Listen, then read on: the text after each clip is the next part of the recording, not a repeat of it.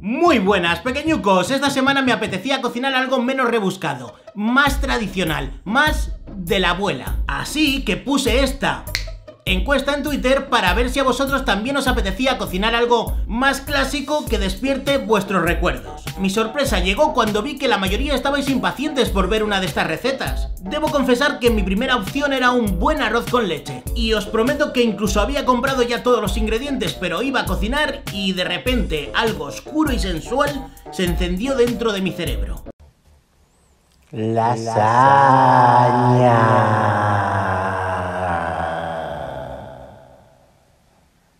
Era mi yo interior diciendo que debía preparar mi plato favorito de todos los tiempos, la lasaña de carne. Eso sí, he intentado cocinar la lasaña más sencilla del multiverso, con una bechamel que se hace en tres pasos y sin posibilidad alguna de que tengáis grumos. Así que aquí estamos, vosotros y yo, a punto de crear el vídeo de lasaña más poderoso de todos los tiempos. Yo no sé si es la lasaña original o si un señor muy muy italiano ha descendido de los cielos para poner su sello de autenticidad impreso en el queso fundido. Lo que sí sé es que es mi versión, y una vez la pruebas no puedes dejar de pensar en la cremosidad de la bechamel poderosa. Apunta bien los ingredientes y prepárate a disfrutar de una explosión de sabor en tus papilas gustativas. Una oleada de texturas invadiendo tu boca y volviéndote adicto a la salsa de tomate. Aunque pensándolo bien, mi consejo es que huyas. Huye, huye y deja atrás este vídeo. Cierra la ventana del navegador y no mires atrás. Porque si lo haces, caerás preso del placer adictivo que produce devorar una buena lasaña recién horneada. ¡Comenzamos!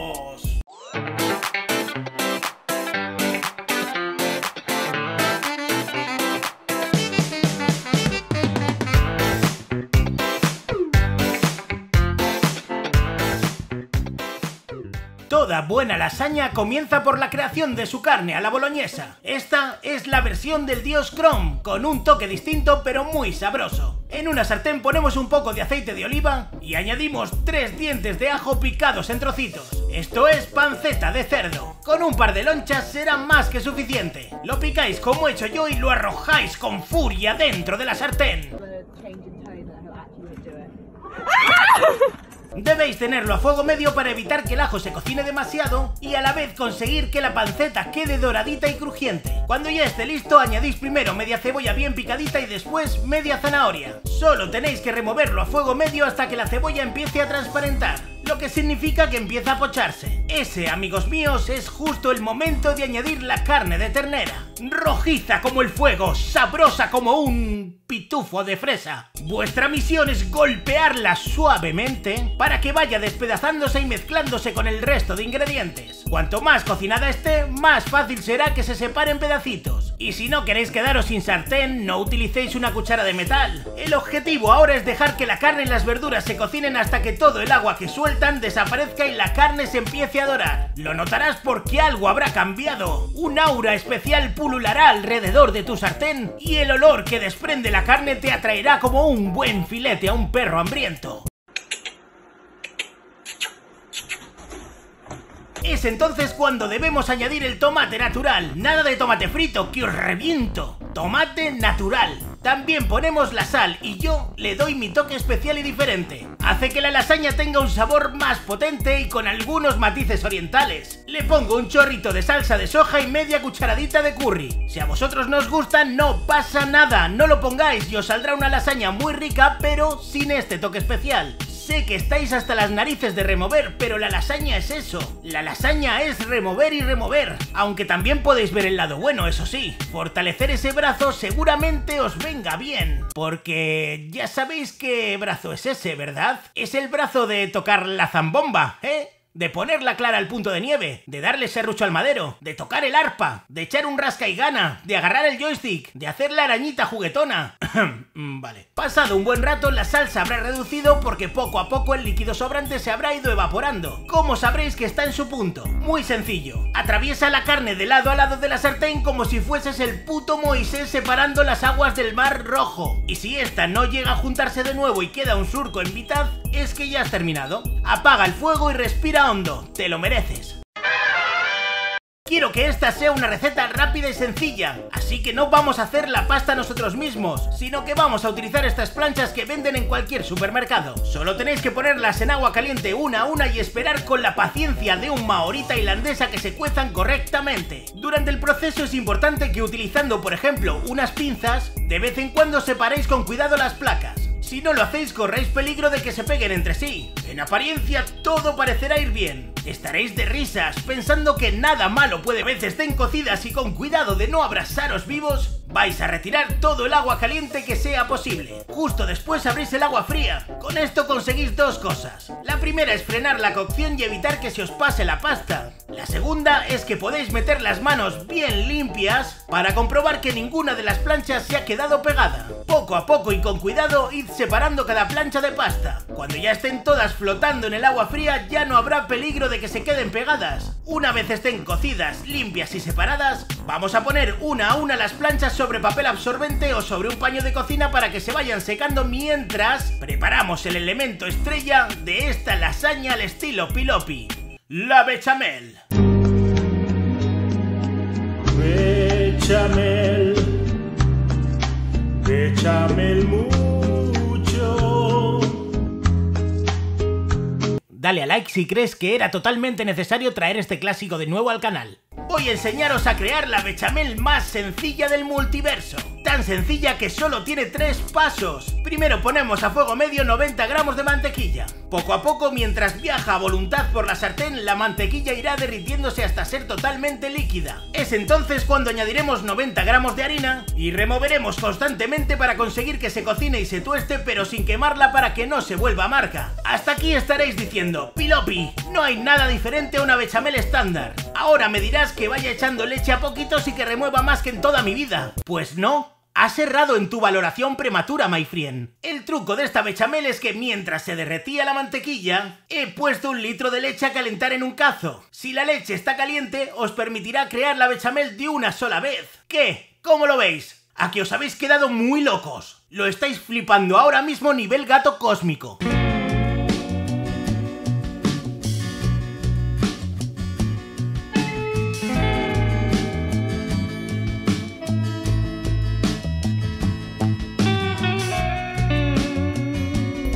Vez la harina se haya cocinado y tenga un color tostado claro, podéis añadir el litro entero de leche caliente. Pero sin pensarlo, ¿eh? Ahí, a lo loco, no tengas miedo, Chrome está de tu parte. Al principio será una mezcla líquida, empezarás a dudar del poder pequeño y pensarás, Pilopi me ha engañado. Pero si sigues removiendo, ya sabes, con tu mano buena, en un solo minuto empezarás a notar los resultados.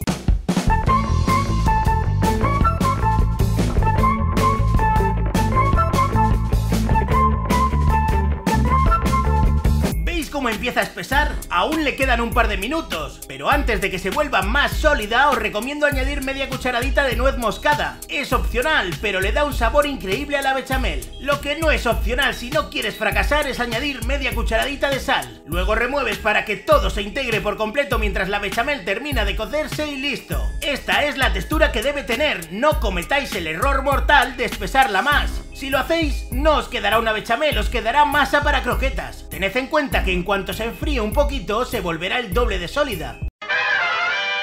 Con los tres elementos necesarios para la creación de nuestra lasaña podemos empezar a montarla. Solo tenéis que conseguir un recipiente válido para horno y untarlo en su interior con aceite para que la lasaña no se pegue. El resto no es difícil, solo debéis seguir unos sencillos pasos. Simplemente haced lo mismo que yo.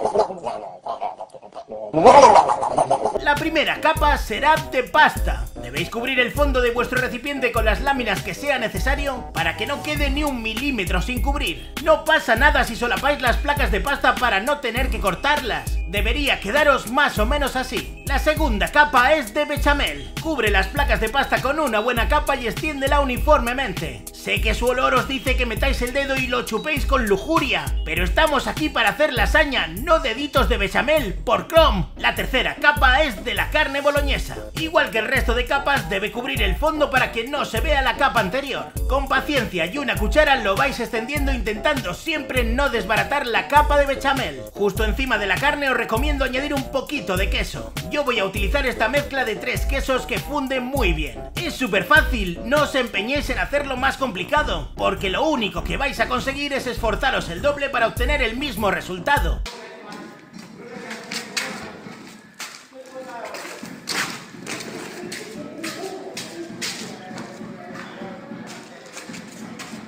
Una vez lo tengáis, simplemente repetir el proceso las capas que queráis o hasta llenar el recipiente de cristal que estamos utilizando. En mi caso han sido tres capas poderosas. Para cerrar este bonito ciclo de la vida bechaminosa, debéis poner una última capa de bechamel bien extendida y justo encima el queso para fundir. Pero esta vez nada de poquito, esta vez debéis ponerle todo el maldito queso que seáis capaces de comprar. Por el amor de Chrome, nunca hay suficiente queso para cubrir lasaña. Cuando se esté desbordando le pones 10 kilos más de queso, maldita sea.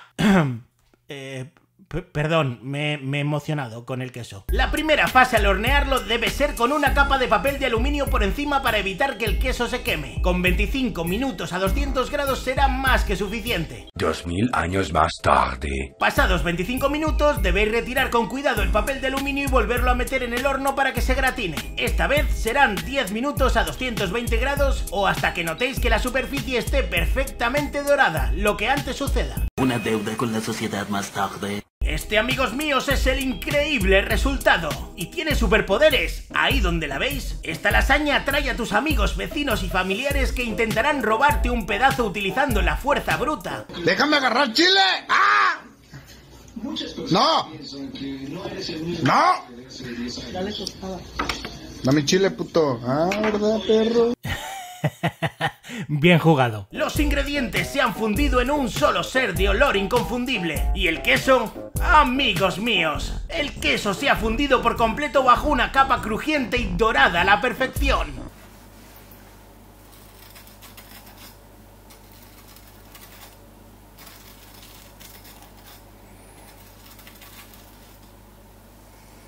A mí me gusta servirla recién horneada, así, que se desmorone y se note la bechamel y el queso fundido resbalando lentamente. Creo que es lo más sexy que me ha pasado nunca. Mira ese humillo que desprende la lasaña que apenas lleva un minuto fuera del horno. ¡Guapa! Me quiero casar contigo y tener lasañas pequeñitas. Ahora bien, si lo que queréis es presentar un cuadrado perfecto en el que se distinga cada capa, no es complicado. Solo tenéis que esperar a que se temple, nada más. Al bajar la temperatura, la lasaña será más sólida y podréis definir una forma concreta. Esta parte fue cortada recién salió del horno, por eso se desborda, pero esta otra parte la corté 5 minutos después. Si esperáis 15 minutos el corte será más perfecto aún. Yo me quedo con mi corte humeante, imperfecto y totalmente fundido. Ale, que el papel os acompañe y recordad, no olvidéis jugar con la comida.